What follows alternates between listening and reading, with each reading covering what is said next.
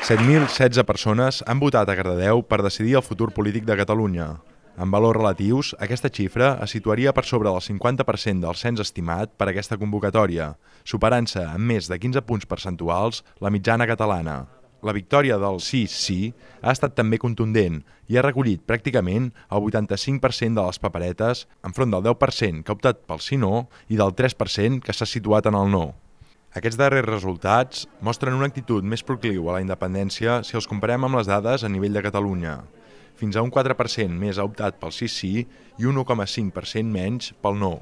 Per altra banda, si ens centrem en les opcions que s'han pronunciat favorables a canviar la relació entre Espanya i Catalunya, veiem que en aquest cas, a Cardedeu, les dades són molt similars a la resta del país.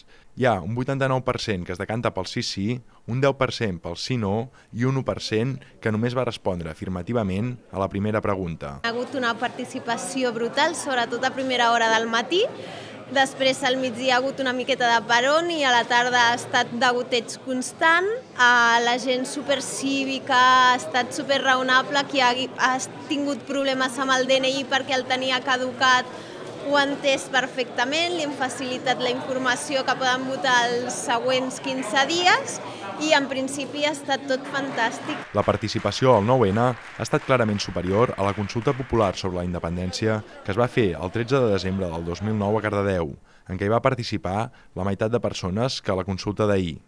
No obstant, si comparem la participació al 9-N amb la que hi hagué a les darreres eleccions generals al Congrés dels Diputats espanyol, la consulta ha comptat amb gairebé 2.500 vots menys.